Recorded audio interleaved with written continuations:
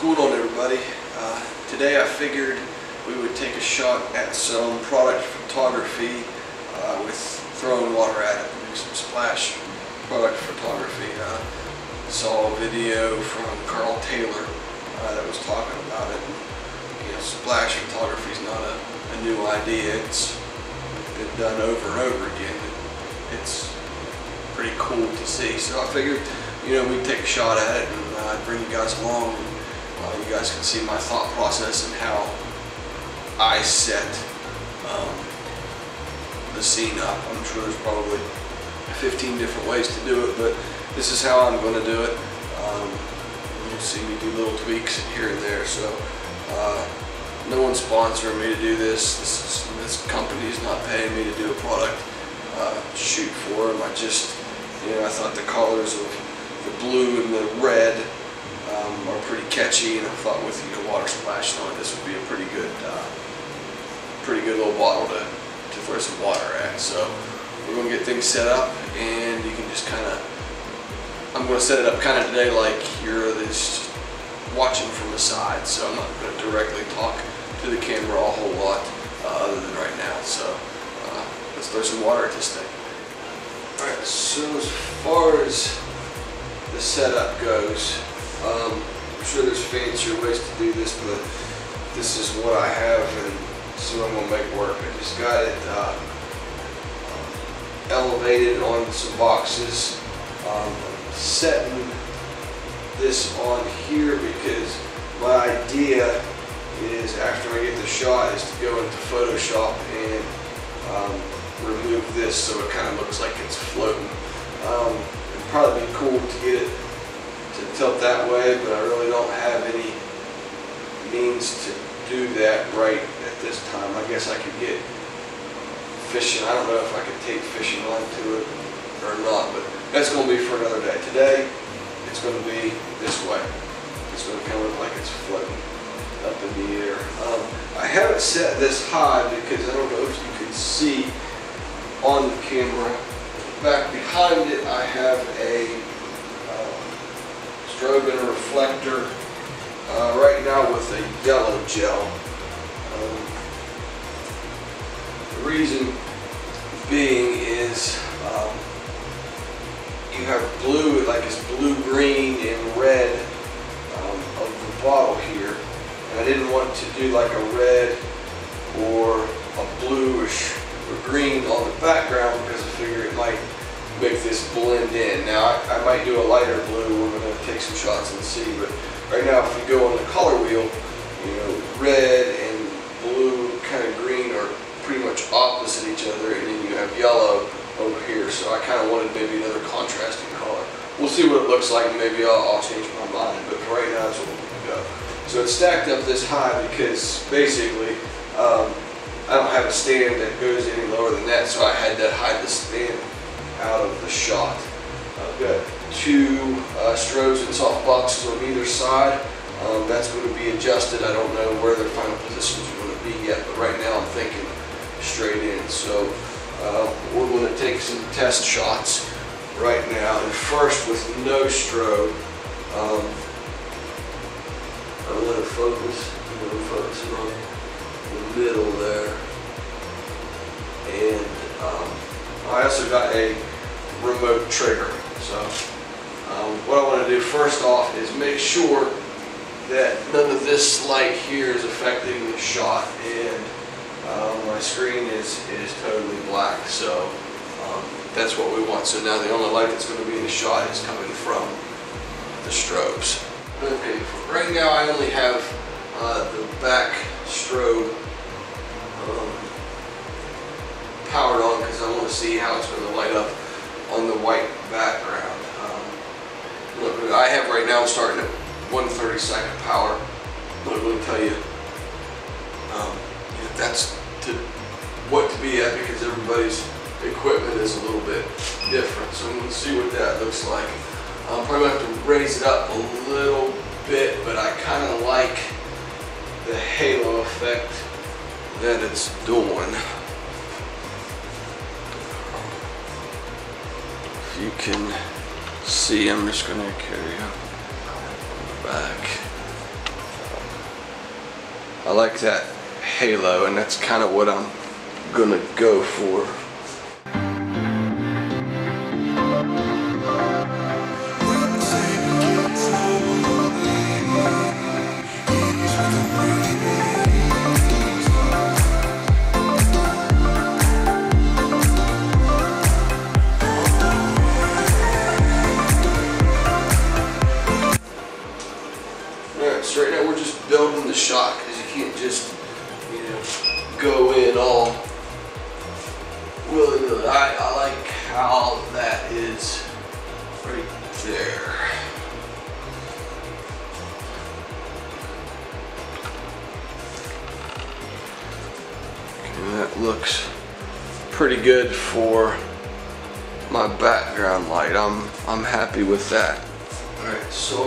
With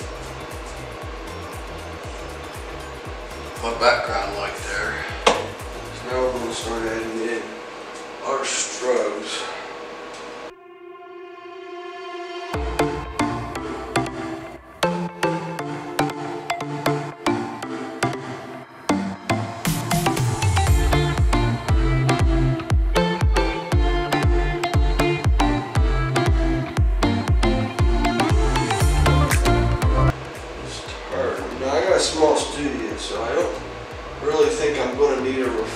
In the front because light's bouncing off of this gray wall coming back.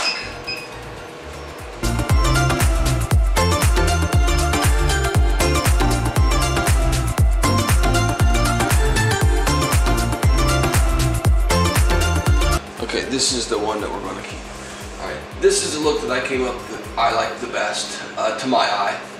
I like how it's exposed and I like those little highlights on uh, either side. So that's what I'm going to go with as far as um, my exposure and um, light placement. See what I did is I kind of leveled this box off straight across with it and then I brought this one up and down and at like a 45 degree angle um, with it. Uh, just for shits and giggles, we're going to try some uh, different colored gels and see what that looks like.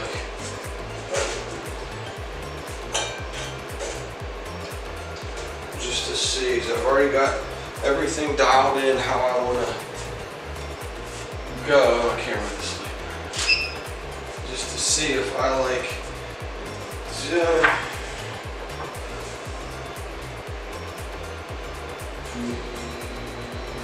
no, I like the bolder. Bolder color on this. Don't like that. The only other color I was thinking of considering is um, like a blue, like a light blue. Dark blue, light blue. But it might, it might blend in too much with the thing. I think I was on the right track when I was doing the yellow. So. Hmm. All right. Well, uh, this is why you experiment. This is why you play. Because um, I like that blue a lot better than that yellow. It's just, I don't know if there's sign. It's just, it's my, pleasing to my eye. Um, it's more pleasing than than that. I thought it would be okay, uh, but I, I actually like that a lot better. I think that's. Uh, at least that's my opinion. And it's like anything, it's art subjective. Some people might like the the yellow, but you know, it's this is my project and this is what I'm doing for fun, so we're going with blue. Alright, so I've got everything dialed in how I wanted it to be. Um, had I have a little more time, it's pretty late in the evening here, it's almost kids' bedtime, it's almost my bedtime.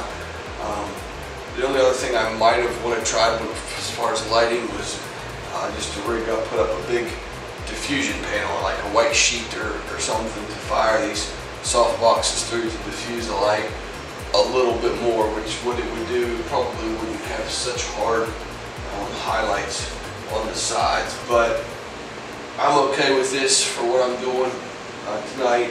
Um, I mean, product photography, it's, it's a lot harder than people think it is, because I've been, oh, almost an hour just taking shots and tweaking little things before I'm even getting to the, uh, the milk and cookies of it all.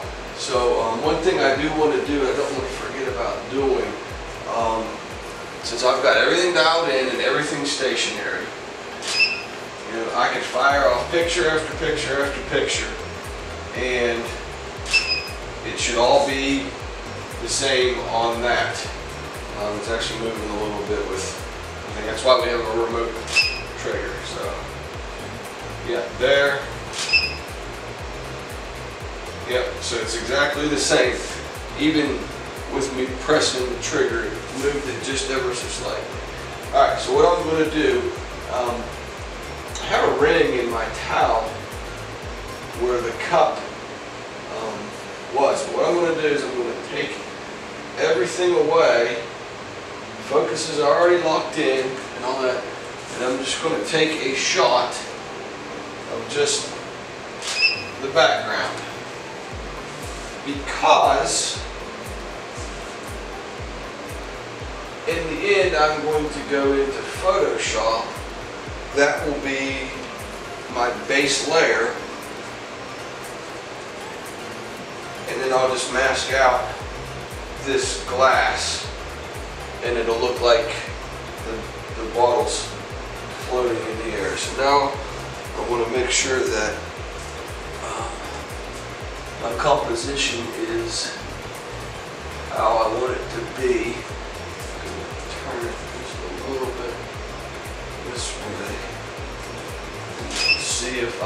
okay with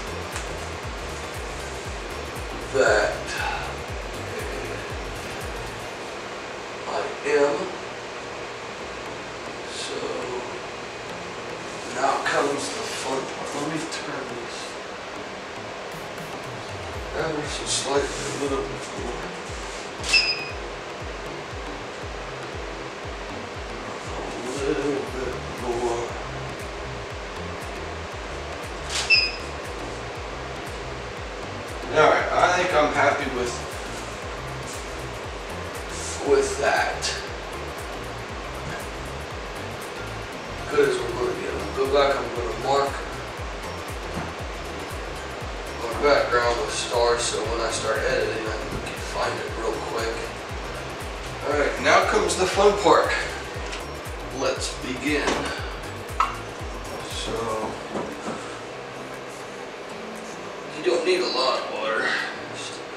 We're just going to start with this little bit. It's going to take lots of shots. This is what's going to make me nervous, even though I got towels laid down and all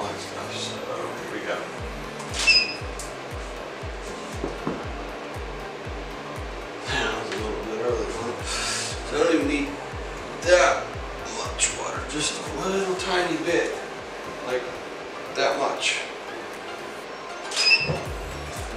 What's my major holdup is throwing water on the floor and it kind of, I don't like to be messy and that's kind of what's keeping me from just doing it. I'm holding back.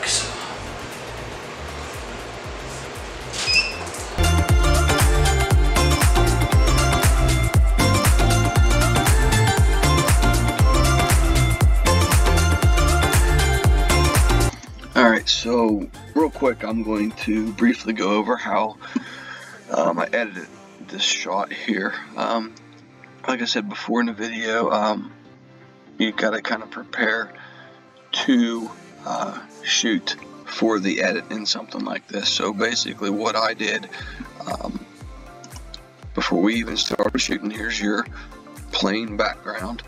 Um, so I just went through all of these shots here um, you know, and picked the ones that I liked the best. And I ended up picking this one and